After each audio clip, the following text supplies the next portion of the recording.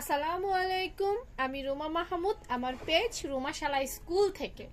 তো যারা আমার রুমাশালা স্কুলের ভিউয়ার আছেন ফলোয়ার আছেন, তাদেরকে অসংখ্য ধন্যবাদ আমার পেজের সাথে থাকার জন্য। আজকে আমি আপনাদেরকে দেখাবো চল্লিশ সাইজের একটা জামা তৈরি করতে গেলে আপনি কীভাবে বক্রম দিয়ে কাটিং করে গলাটা বসাবেন। হ্যাঁ ঠিক আছে, হঠাৎ বক্রমের মেজারমেন্টটা আমি আজকে আপনাদেরকে দেখাবো। আমরা যে কোনো ধরনের ডিজাইনার গলা তৈরি করতে গেলে, একটা ডিজাইনার ড্রেস তৈরি করতে গেলে বক্রমের গুরুত্বর শেষ নেই, ঠিক আছে? বক্রম দিয়ে আমরা খুব সুন্দরই কিন্তু তৈরি করে ফেলতে পারি একটা ড্রেস এখন কথা হলো একটা বক্রমের গলার জন্য চল্লিশ সাইজের জন্য প্রথমে আপনাকে একটা বক্রমের টুকরো নিতে হবে। তা আমি টুকরোটা মেপে দেখাচ্ছি। একটা বক্রমের টুকরো নেবেন চওড়া মানে পাশের মাপটা নেবেন আপনার আট ইঞ্চি, যথেষ্ট। লম্বায় আমি প্রায় আট ইঞ্চির মতোই নিয়েছি, ঠিক আছে? অর্থাৎ আট ইঞ্চি। আট ইঞ্চি কম নেওয়া যাবে না কিন্তু। এখন বলবেন, আপু, বক্রমের মাপটা কেন বলছেন? তার কারণ হচ্ছে আমাদের যে বক্রম আছে, সেটা বিশাল বড় হয়ে থাকে, তাই না? টুকরো টুকরো বক্রম কিন্তু পাওয়া যায় না। অনেক বড় বক্রম পাওয়া যায়। এখন এই অনেক বড় বক্রম থেকে আমরা কি করি? আমরা ছোট্ট করে আগে কেটে নিতে হবে। আবার এমন ছোট করা যাবে না, যাতে করে কি হয়, শেষে গলাটাই না হলো। ঠিক আছে? তো আপনারা আট বাই আট নিলে হয়ে যাবে। আট বাই আট নেওয়ার পর আপনারা সুন্দর করে এটাকে ভাঁজ করবেন এইভাবে। একদম সমান ভাজে আপনারা ভাঁজ করে নেবেন। ঠিক যেমনটা আমি ভাজ করে নিলাম। ভাজ করে নেওয়ার পর চল্লিশ সাইজের জন্য আমি আজকে আপনাদেরকে গলাটা দেখাবো। আমরা পাশের যে মাপটা আছে, সেটা নিব তিন ইঞ্চি। খেয়াল করুন, তিন ইঞ্চিতে মার্ক করেছি, নিচেও আমরা তিন ইঞ্চিতে মার্ক করব। ওকে, তিন ইঞ্চি তিন ইঞ্চি হয়ে গেছে।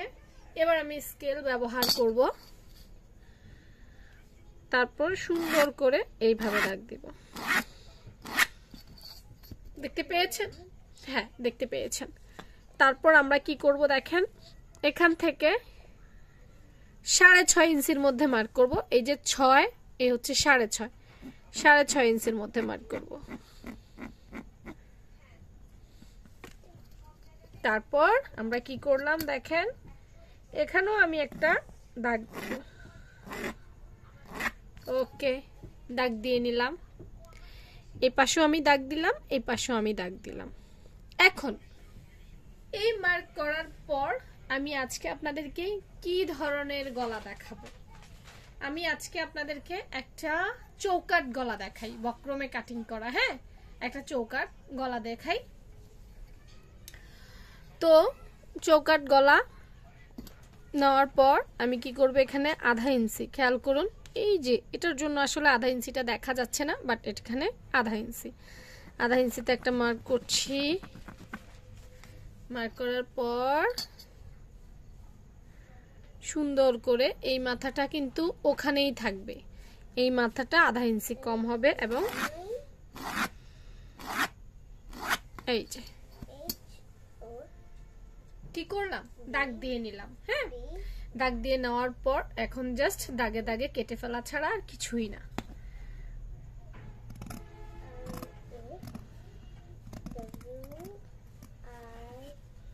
আমি একটু আসতে পড়ো আমি তো ভিডিও করছি।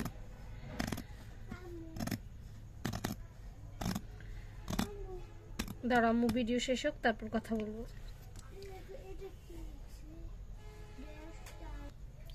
আচ্ছা মোটামুটি কাটা হয়ে গেছে। এখন কাটার পর আপনারা একটা জিনিস খেয়াল করেন, এই পাশগুলো কেমন অগোছালো না, অসুন্দর না? এখন এটা কি এরকম অগোছালো, অসুন্দর থাকলে এটা গলার মধ্যে সেট করা যাবে? যাবে না। এটাকে একটা সুন্দর পরিপাটি একটা লুক দিতে হবে। এখন এই সুন্দর পরিপাটি লুক দেওয়ার জন্য আমরা যেটা করব, আমরা এখান থেকে এবং এখান থেকে সুন্দর করে সমান করে ঠিক গলার উপযুক্ত করে তৈরি করব। এখন এখান থেকে এখানে যে যার পছন্দ মতো নিতে পারবেন। আমি সাধারণত এটাকে এক ইঞ্চি চড়া রাখতে ভালোবাসি। এটা আমার পার্সোনাল ওপিনিয়ন হ্যাঁ আপনি চাইলে আরও চড়া দিতে পারবেন নো প্রবলেম এইখান থেকে এই এক ইঞ্চিতে, এই এক ইঞ্চিতে, ঠিক আছে? তো এটা দাগ না দিলেও চলে, আন্দাজ করেও নেওয়া যায় আসলে। এই যে, এইভাবে হ্যাঁ? তারপর এই।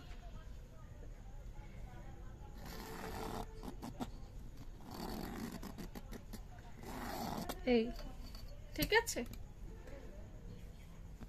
তারপর সুন্দর করে কেটে নিতে হবে। এই জিনিসটা বেশি বড় হলে কিন্তু আসলে ভালো লাগে না, বড় হলে বা মোটা হলে। এইভাবে কেটে ফেলেছি। এবার এই সাইডটাও সমান তালে হতে হবে, একদম সমান তালে। আমি একটু ধীরে সুস্থে কাটছি। একজন একদম সমান তালে।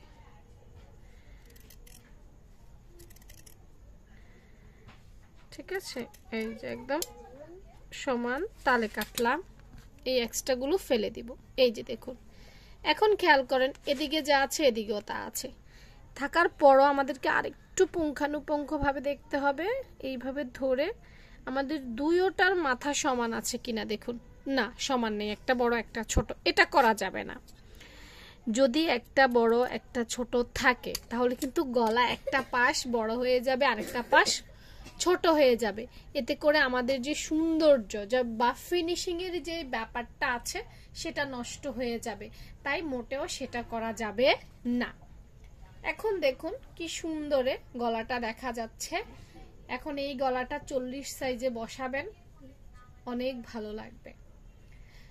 তো আমার আপুদেরকে বলব, সূত্র সহকারে, টেকনিক সহকারে যদি খুব সহজেই সেলাই কাজ শিখতে চান আমার প্রতি মাসে একটা কোর্স থাকে। আপনারা আমার কোর্সে ভর্তি হতে পারেন। নির্দিষ্ট একটা অ্যাড ফি আছে অ্যাড ফি দিয়ে রেজিস্ট্রেশন করতে হয়।